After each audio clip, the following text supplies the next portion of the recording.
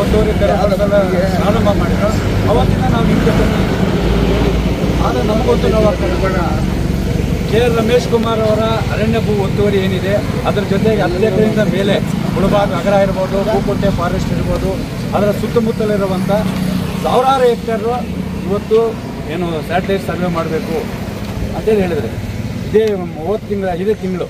ಆರನೇ ತಾರೀಕು ಕೆ ರಮೇಶ್ ಕುಮಾರ್ ಅವರ ಜಿ ಹೊಸಗುಡ್ಡ ಸರ್ವೆ ನಂಬರ್ ಒಂದು ಮತ್ತು ಎರಡರಲ್ಲಿ ಸರ್ವೆ ಮಾಡ್ತಿರೋದ್ರಲ್ಲಿ ಇಡೀ ರಾಜ್ಯದಲ್ಲೇ ಒಂದು ಸಂಚಲನ ಮೂಡಿಸಬೇಕು ಯಾಕಂದರೆ ಅವರು ವಿಧಾನಸೌಧದಲ್ಲಿ ಸಭಾಪತಿಗಳಾಗಿದ್ದಾಗ ಗೌರವಾನ್ವಿತ ಸಂವಿಧಾನ ಶಿಕ್ಷಣ ಬಾಬಾ ಸಾಹೇಬ್ ಅಂಬೇಡ್ಕರ್ ಅವರ ತತ್ವ ಸಿದ್ಧಾಂತದಲ್ಲಿ ಅಳವಡಿಸಿಕೊಂಡು ನಾನು ಅವರ ತತ್ವ ಸಿದ್ಧಾಂತದಲ್ಲಿ ಅವರ ಸ್ವಾಭಿಮಾನ ಒಂದು ಇದಿದ್ರೆ ಯಾಕೆ ಭೂಮಿ ಕೊಡಬಾರ್ದು? ಅವರ ಡೇಟ್ ಮಾತ್ರ ನೀವು ಮುಂದೂಡೋದಕ್ಕೆ ಕಾರಣ ಏನು? ಕಂದಾಯ ಅಧಿಕಾರಿ ಯಾಕೆ ಸಹಕರಿಸ್ತಾ ಇಲ್ಲ? ಆ ಕಂದಾಯ ಕಾನೂನಲ್ಲಿ ಒಂದೇ ಇರಬೇಕು. ಈಗ ರಾತ್ರಿ ಹನ್ನೆರಡು ಗಂಟೆಗೆ ನೀವು ಮಾಡಿದ್ರಿ ಬೆಳಗ್ಗೆ ಆರು ಗಂಟೆಗೆ ಮಾಡಿದ್ರಿ ನಿಮ್ಮ ಸಂಪೂರ್ಣ ಸಹಕಾರಕ್ಕೆ ನಾವು ಸಹಕಾರ ಕೊಡ್ತಾ ಇದ್ದೀವಿ. ರಮೇಶ್ ಕುಮಾರ್ ಮತ್ತೆ ಮತ್ತಿತರ ಸೇರಿದಂತೆ ಅರಣ್ಯ ಒತ್ತುವರಿ ಯಾಕೆ ತೆರವುಗೊಳಿಸಲ್ಲ ಸ್ಯಾಟಲೈಟ್ ಸರ್ವೆ ಅನ್ನೋ ಒಂದು ಅಡ್ಡಿಯಲ್ಲಿ ಬಡವರಿಗೂ ನ್ಯಾಯ ಸಾರ್ವಜನಿಕವಾಗಿ. ಸುಮಾರು ಹತ್ತು ಸಾವಿರ ಕೋಟಿ ಮೌಲ್ಯದ ಅರಣ್ಯ ಭೂಮಿ ಉಳಿಸಿದ್ದೀರ.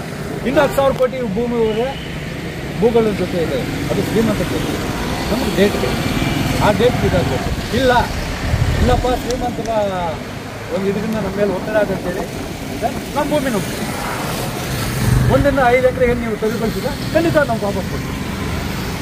ಅವ್ರು ಬಿಟ್ಟಾಗ ಬಿಡ್ತೀವಿ ಯಾಕಂದರೆ ನಿಮ್ಮ ಅರಣ್ಯ ಇಲಾಖೆ ಕಾಯ್ದೆಯ ಪ್ರಕಾರ ನೀವೇನು ಮಾಡಿದ್ರೆ ಅದಕ್ಕೆ ನಾವು ಸಂಪೂರ್ಣ ತರ್ತಾರೆ.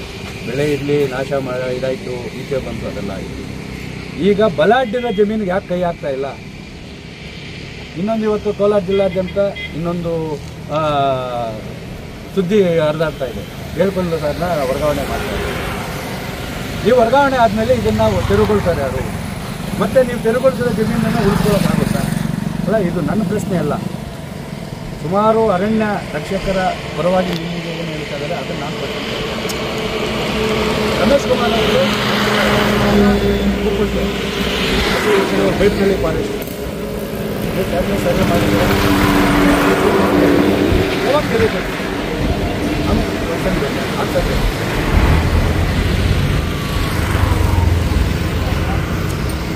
ಆರು ದಿನ ನಾವು ಮಾತಲ್ಲ ಸರ್. ಈಗ ನಾವು ಕೇಳೋದು ಒಂದೇ ಮಾತು. ಡೇಟ್ ಯಾವಾಗ ಇಲ್ಲ ಕಂದಾಯ ಅಧಿಕಾರಿ ನಿಮ್ಗೆ ಸ್ಪಂದಿಸ್ತಾ ಅಲ್ವಾ? ಇಲ್ಲ ಅರಣ್ಯ ಸಚಿವರು ಮನೆ ಮುಂದೆ ಕೂತ್ಕೋಬೇಕಾ? ಇಲ್ಲ ಉಸ್ತುವಾರಿ ಮನೆ ಮುಂದೆ ಕೂತ್ಕೋಬೇಕಾ? ಇಲ್ಲ ಕಂದಾಯ ಮಂತ್ರಿಯವರು? ನಮಗೆ ತೆರವು ಯಾವಾಗಗೊಳಿಸ್ತೀರಾ ದಿನಾಂಕ ನಿಂತಿದ್ದೀವಿ ಆ ದಿನಾಂಕದೊಳಗಡೆ ನೀವು ನಮಗಿದು ಇಲ್ಲ ಅದೇ ಗೀರುಗುಂಟೆ ಒಂದು ಮತ್ತು ಸರ್ವೆ ನಂಬರ್ ಏನಿದೆ ಅಲ್ಲಿ ನಾವು ನಾವು ಕೊಡ್ತೀವಿ ಅಲ್ಲಿ ನಾವು ಕಾನೂನು ಅಧಿಕಾರಿ ಕಂದಾಯ ಮಂತ್ರಿ ಇದೆ, ಅದೇ ರೀತಿ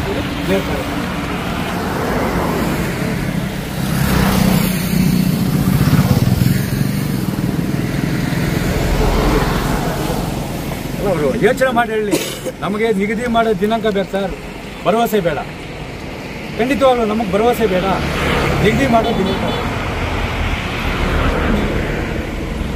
ಇಲ್ಲ, ನಿಮ್ಗೆ ಇನ್ನ ಭದ್ರತೆ ಇಲ್ವಾ?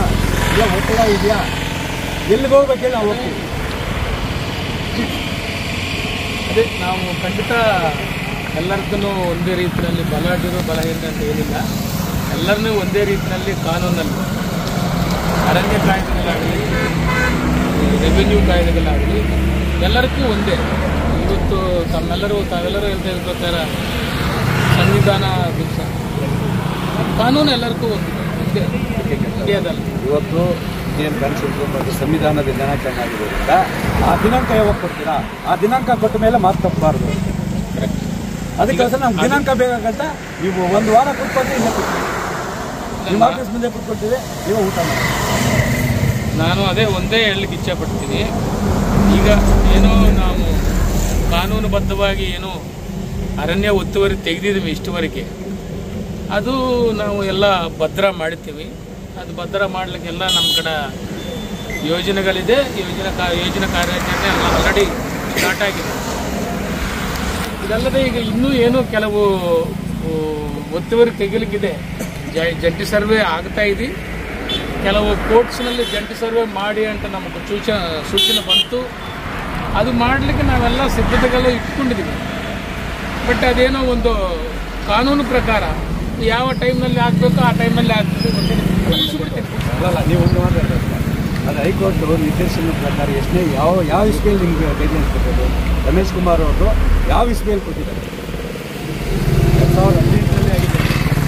ಹೈಕೋರ್ಟ್ ನಿರ್ದೇಶನ ಪ್ರಕಾರ ಅದು ಹದಿಮೂರು. ಅದು ಅವಾಗೇ ಆಗಿದೆ.